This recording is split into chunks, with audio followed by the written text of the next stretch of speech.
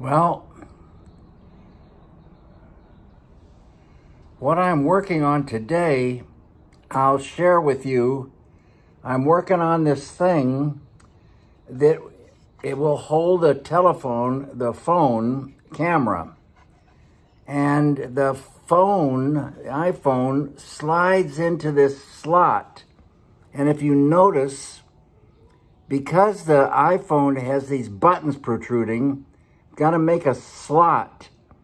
So when you slide the phone in, it doesn't activate those buttons.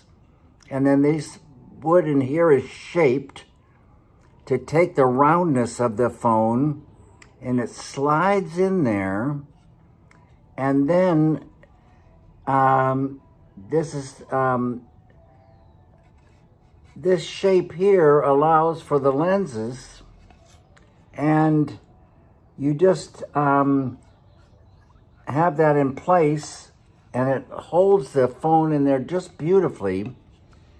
Then this thing will be mounted onto this, and I'm right now using um, epoxy putty to put, uh, put in a bolt, a nut, and the bottom of this, and this nut has got wires drilled into it to keep it from spinning. In case it gets loose, the wires will hold it, and then I got pins coming from the wood so that this plug, epoxy plug, will be locked in the, into there so it won't pull or spin.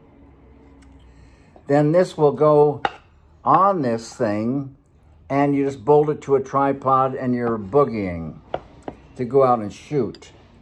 Also working on this sculpture, this little tiny sculpture, and it'll be a light a light uh, a lamp sculpture.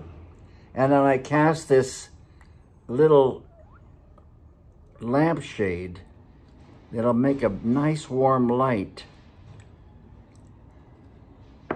Those are the things. I'm also casting some other shapes. I'm making this uh, rubber mold and then I have to split the mold to get the positive out before I can make the new thing.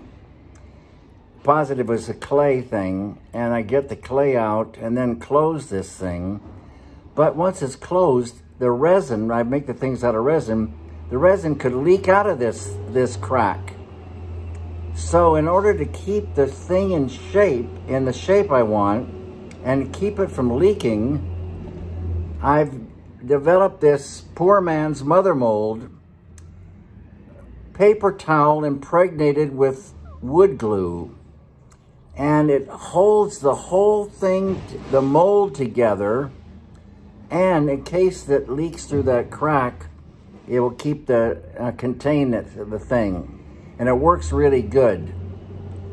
So those are the things I'm working on uh, right now, casting these little pieces for sculpture and making the rig for the phone. The rig for the phone, you can get one at the store that works, it's like perfect. But it's so much fun to build our own things and um, solve the problems and figure out a way to do it on our own.